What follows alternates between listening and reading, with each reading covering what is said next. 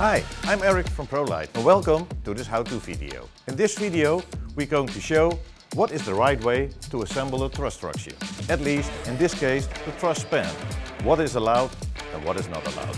The first thing which is of most importance of course that you make the proper connection with the right connectors, the pins and of course don't forget the clips. Then a little bit about the pattern.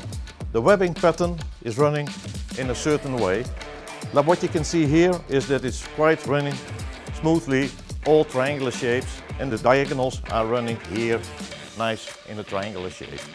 On the bottom part I made a different setup. Here you can see the webbing pattern running, but here we have two parallel running braces.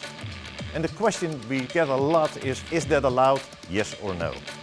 Well, truss modules are designed to use on its own or in combination with others, like here. In this case, for the Prolyte truss, all our figures are based on both situations. So for the Prolyte trusses, it doesn't matter if the diagonals run here in a triangular shape or here on the bottom part parallel running.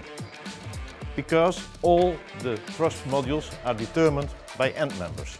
And the end members will make sure that we have a triangular shape here again and a triangular shape there again so it keeps his strength. So all the loading data we give on the website and published in our catalog are based on the situation like here in the upper span and it will be the same for us in the lower span. The only person who could start a complaint is the light designer. Most light designers want to have a symmetric pattern of the webbing on the left side of the stage, which should be the same as on the right side of the stage. Therefore, it is wise to use it in this situation. Strength-wise, it doesn't make any difference. All our trusses are calculated for this situation, but also for this situation. I'm Eric from Prolyte. Thank you for watching this video.